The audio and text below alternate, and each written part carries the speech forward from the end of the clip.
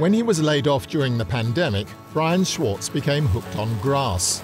Mowing it, that is. Really, just as a time filler, uh, just wanted to help neighbors, just keep myself busy mentally, physically.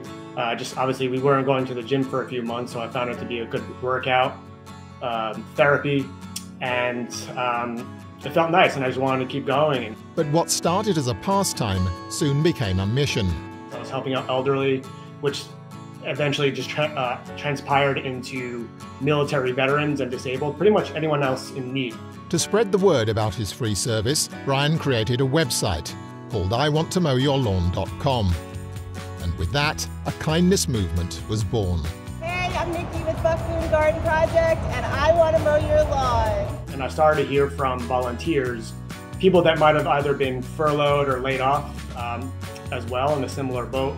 They just happened to have landscaping equipment and a means to transport it around. And so we started to disseminate out tasks uh, to people in the area of northern New Jersey. And then just news picked up and went a little viral. And uh, started to hear from clients all across the USA and um, volunteers as well. Pretty soon, Brian began offering other services, like tree and snow removal.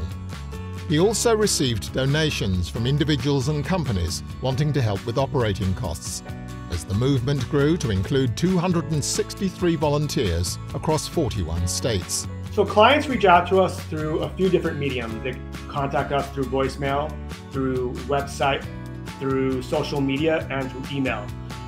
Within the last three months, I've we've received over a thousand voicemails all across the USA.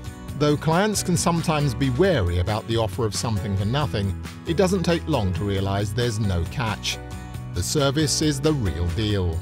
It's been helping us out for over a year now, and I can't speak more highly about this service and what it means to people at a disadvantage.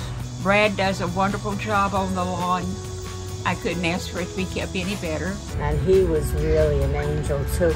Do you know he called when we had a, a snowstorm and he wanted to make sure I could get Jesse over to dialysis. And he came and he did the driveway just so that we could, you know, we could get out and take him to dialysis. I can't say enough about you guys. Brian's service, which he's turned into a non-profit organisation, undoubtedly helps his clients. But he also feels the benefits are mutual. Stimulates my mind, my body, my soul, just helping others. It's a really good feeling. I feel like I'm doing something that has some meaning and purpose